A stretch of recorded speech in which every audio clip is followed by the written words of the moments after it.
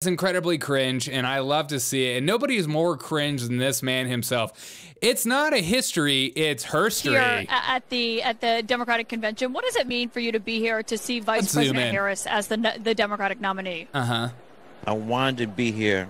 Yeah. This is wow. not history. Wow. This is her story.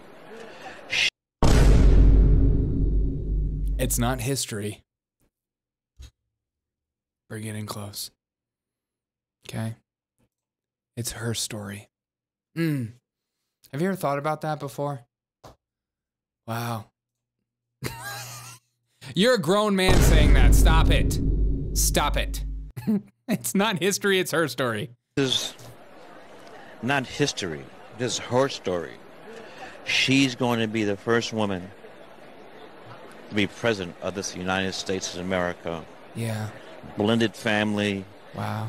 You know, the whole Howard University, Whoa. HU, you know. So this is a amazing moment in the history of these United moments. States of America. Wow.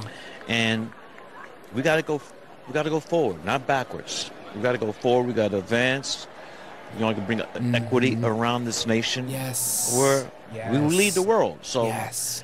you know, Come I on, travel Pastor. a lot of Come on. times. And, but, but Oh, he out- outside the United States, and when this Mhm. guy was president, Yes.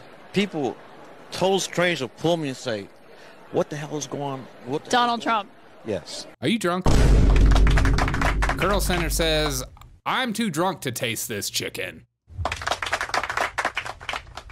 Stop. Stop. Okay. What's happening? What is he even saying? He's saying a whole bunch of nothing. It's not history, it's her story. This is, I feel like this is the consensus of Kamala Harris. You know, we just, we love her. Why do you love her? You know, we're all about moving forward. We're all about putting one foot in front of the other, putting one belt buckle on at a time, one leg in front of the other. We like doing one, one. When I put my shoes on, I do one at a time.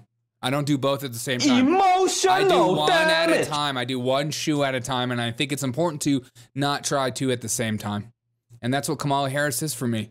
One shoe at a time. Emotional damage. I uh, and tell me tell me this isn't worship. Tell me this isn't like some kind of laying his life down. She's just amazing. It's her story. It's not history. We're rewriting words. We're re- rewriting slogans. It's beautiful to see. He is.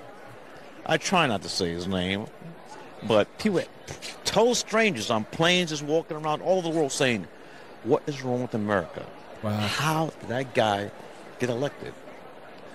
So those four years, Right. And if Kamala Harris gets elected, no one's going to be saying that.